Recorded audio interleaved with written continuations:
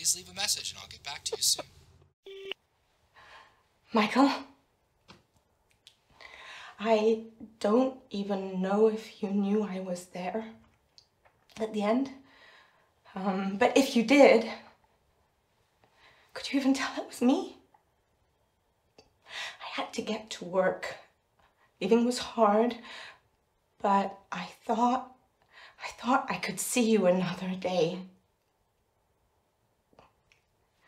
I told you I loved you.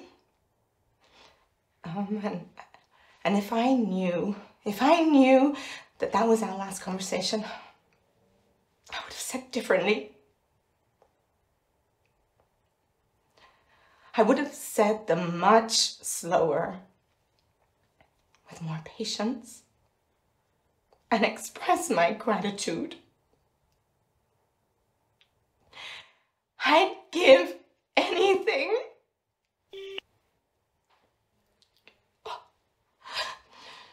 to tell you one last time